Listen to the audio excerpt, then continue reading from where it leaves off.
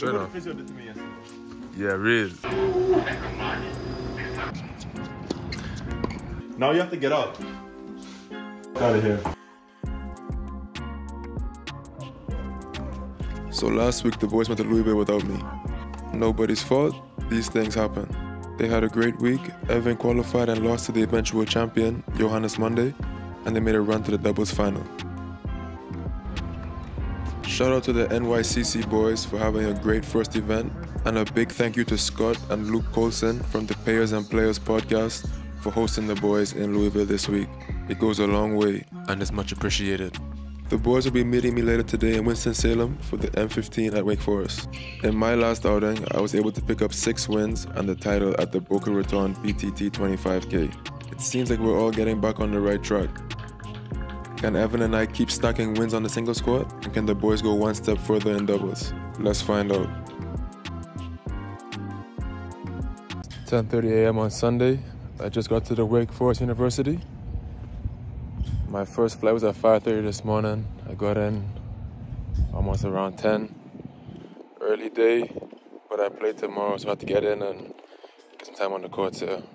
An hour into my practice today, I landed on a serve and I felt my calf pop. I'm not sure what that means for the rest of the week. Maybe I can play, maybe I can't. Gonna see the physio and figure it out. It's like looking this way too.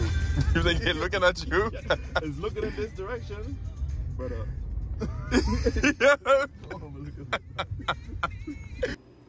If you know me or follow the podcast at all, you know that it's tough for me to not be able to play due to injury because much of the last three years has been spent missing tournaments because of injuries. I did feel the calf pop, but kind of hoping for a miracle that I can wake up tomorrow and be able to play. The physio did say strapping it up might help. Guess we'll see tomorrow. This guy's making money. I don't know what the hell this man doing. Well, he's working too. What's What he you doing? Uh, mental coaching. He's actually being productive. For himself, though.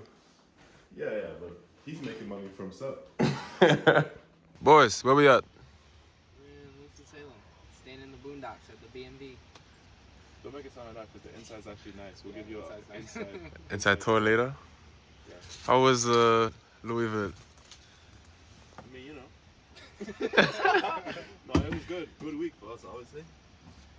Um, After your your Europe uh, debacle, you had a nice... hey, nice. we win some matches these days. Give me some.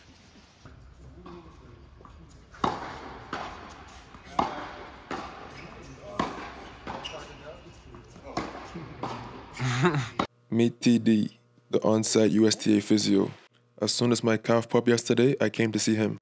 He assessed me and did a bunch of treatments in the hopes I could play today. Unfortunately, it wasn't enough. Right now, he's filling out the on-site medical withdrawal form, which allows me to pull out of this event and upcoming events without any penalty as long as the injury persists.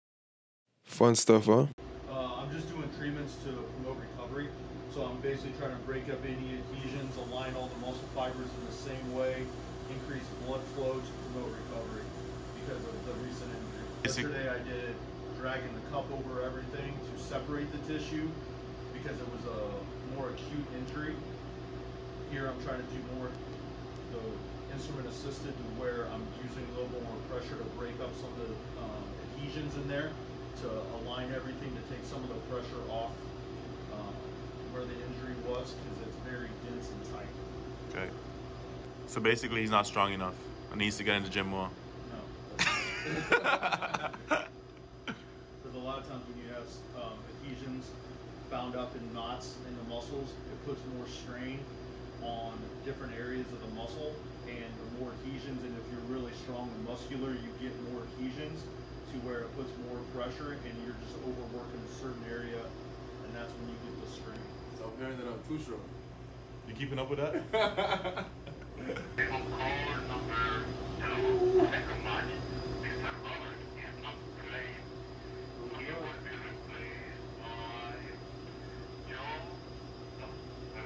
I should have signed onside today.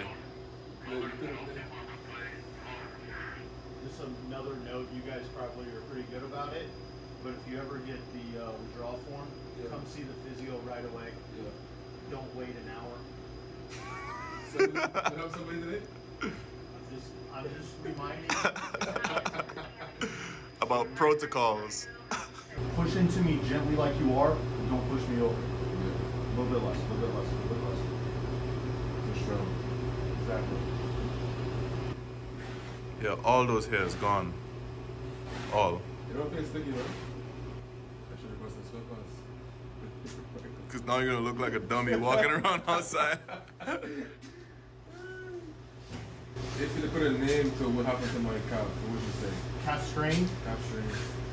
And what's the purpose of the the wrapping the tape in right now? Give it more compression and basically assisting to offload the muscle to give it um, where it doesn't have to work as much to where it can recover. Another big thing I would highly recommend in general, a compression sleeve or compression leggings like the long ones, not super super tight but not loose. Sleep in them because I've heard that it's traveling as well. I've heard yep, yep. What about if he plays in high socks? You think he should play in high socks? That's a personal question. Take a few steps, see how that is. I believe you asked on the podcast a couple weeks ago if how bad do I want it? Would I play in high socks?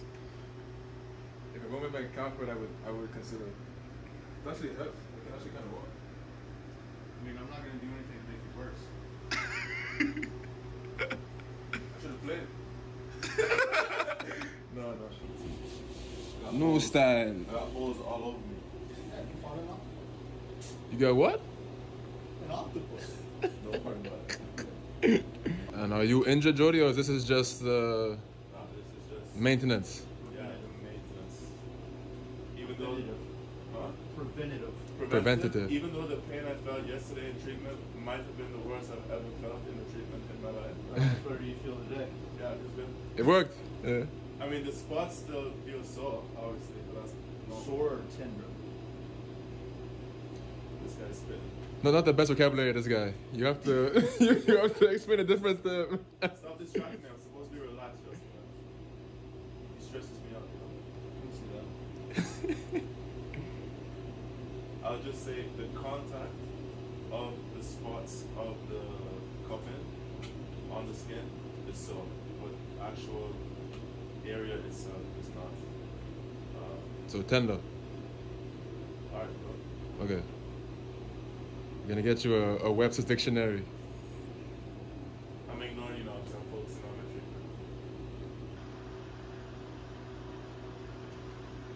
But you got a van popping out of the side of your head right now, boy. That's good stuff. You- Good work. Yo. Yesterday, what did you say?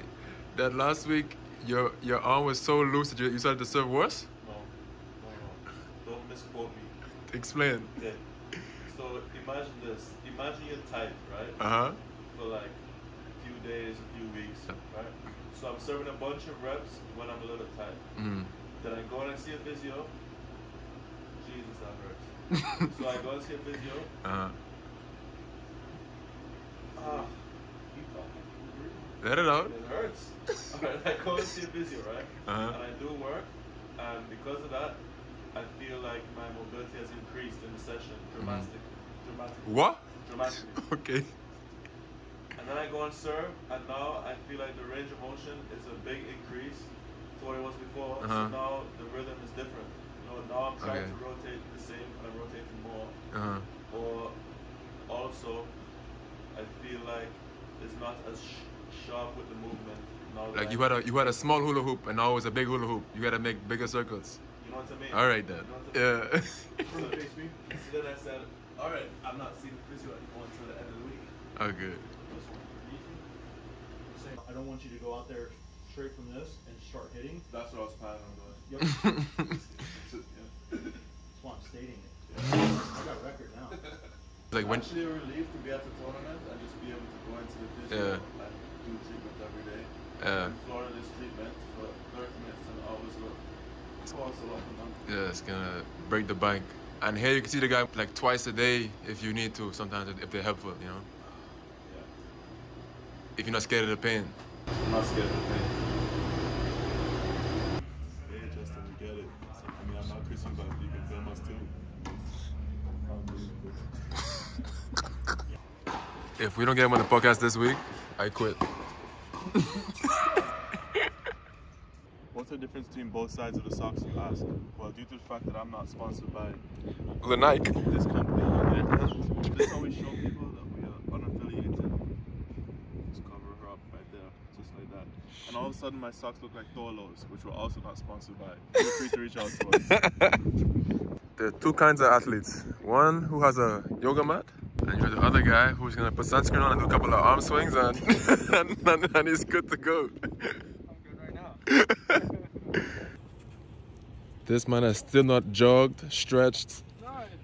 No, what? some leg swings. So, some uh, it's a beautiful day, man. It's a beautiful day to withdraw, withdraw from a tournament. That's fucked up. These guys are fresh off of an eight-hour drive yesterday from Louisville, and they won't play at least until tomorrow, maybe even Wednesday. So the goal today is just to feel the ball, get used to the conditions, and have fun moving the body. Because there are better things for your body than sitting in the car for eight hours.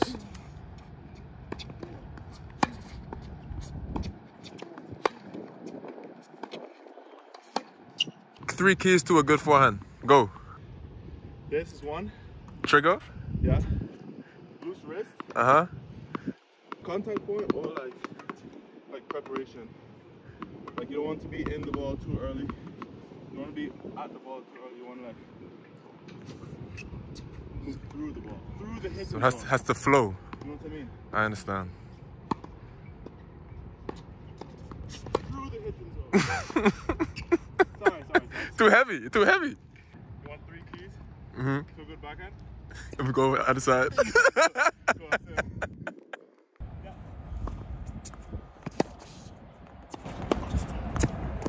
Ow. Through the hitting zone. I don't know. We have that on camera. It definitely is on camera. Is Evans a cheater or not? Yeah.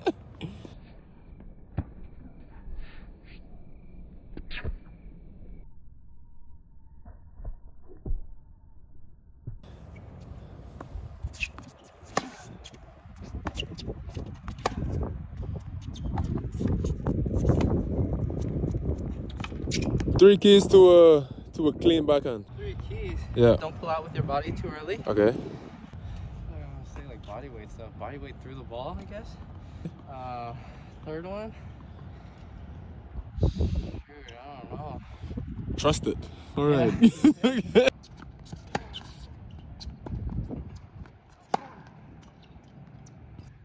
this is the positivity segment. Self-esteem, self-love. I want you to tell me one thing you did well, one thing you didn't do so well, and then another thing you, you did well last week. One thing I did well was I kept good perspective. I had a lot of gratitude for the things that go my way that you don't think about, like being healthy. Wrote that in my thing a lot. Sorry about that, Justin, by the way. Uh, What you've been journaling or what? I've been journaling every day. Yes. That's nice. What I didn't do as well, it's hard to balance doing fitness during the week. Mm-hmm. But like the day the tournament, the day I got to the tournament, I did fitness. So So what about like daily mobility? Have you were you I on did it? every day. Okay. So we end on that. We end on my discipline. Good stuff, man. Hey, My perspective. I'm just kidding. I think I was working hard on my mental game. I think. What does that mean? more about it. All right. That's something I think that makes a big difference in my game.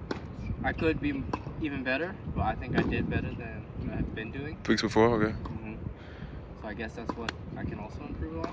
So you Health. the mentality? Yeah, I would also like to serve better, Okay. but that's also Not in your control, a is it? process. Yeah, And one more one more positive thing, man. One more good thing. Yeah. I mean, just try to. you built some psychological momentum. Yeah, yeah, yeah. You know what I mean? I, I think That's I, all we're doing here. even after a loss in singles or something, I think try to learn from it instead of feeling like, oh, I'm not playing how I want to, or I'm not where I want to mm-hmm. be. So perspective as well. Put it there. This guy's such a cheater, just copies all my answers. It's unbelievable.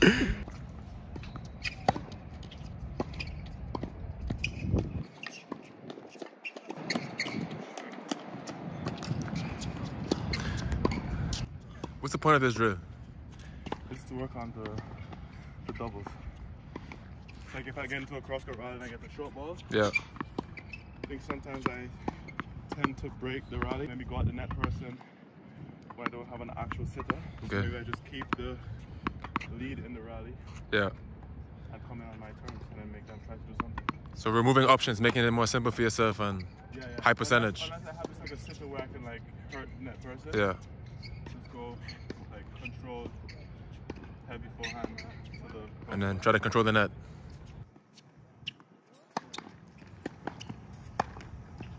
Yo. Yo. Well, I did that for like shit, so I guess it's not seen any of that footage.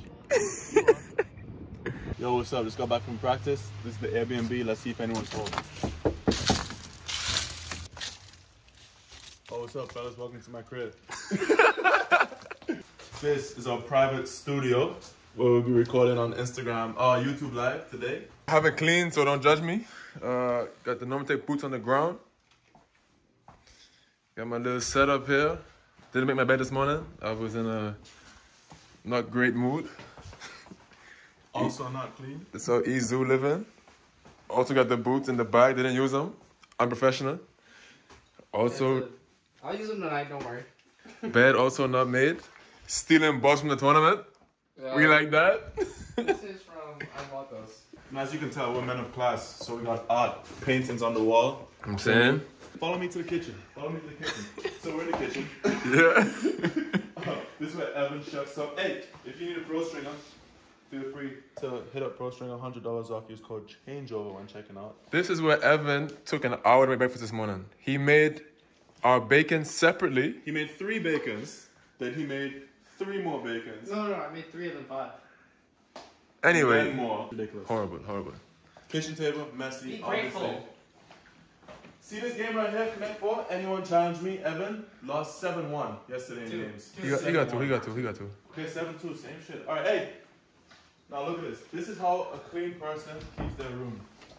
Clean. This this is the master bed. Yeah, clean. Look. Oh. Hey, journal, you know. Laptop was doing. The five minute journal. Shout out to Clement Chidekh. Hey, you want to know the quote of the day? Somebody. No, no, no, no. yeah, for real. Life is about not knowing, having to change, taking the moment, and making the best of it without knowing what's going to happen next. Unreal. Remember that. That's where we will absolutely spend zero time because outside has mosquitoes. And it's cold. No. And why is the guy shirt look what off? the physio did to me yesterday. Yeah, real, real. Like the cupping I did with him, where we drag over it. That's kind of crazy, no? Cupping. Supposed to make you feel better. He's hurting you. All right, that's it for the crib. Hey, now you have to get up. Fuck out of here. You're supposed to walk out with them. Oh, No? me. All right. Bit of a rough trip for me so far. Came here with the hopes of continuing some good form after the PTT. The hardest thing for me with all this stuff is just the starting and stopping. It's having to tell my parents, like, hurt again. Tell my coach, hurt again. I feel like um, I don't want to say necessarily letting people down, but it's it almost feels like I'm annoying. I'm a bit like a bit of a burden that is always is always something, and I don't like I don't like that feeling at all. I've been playing really well, so I feel like I'm ready to come out here and continue doing that, and hopefully do some damage. But if the body's not allowing me to do that, I can't I can't really play. So for the rest of the week, we're gonna try to record some stuff. I might stay one or two more days. Just gonna try to stay positive, do all the rehab I can do, and get back on the match court as soon as possible. I hope it's only gonna be one to two weeks of recovery. It feels similar to what happened to my my hamstring the last time, and that was only about 10, 10 to 14 days of, of recovery. It's just the way life goes sometimes. I don't know what lesson God trying to teach me with all this, but um, yeah, just trying to stay patient and, and stay positive.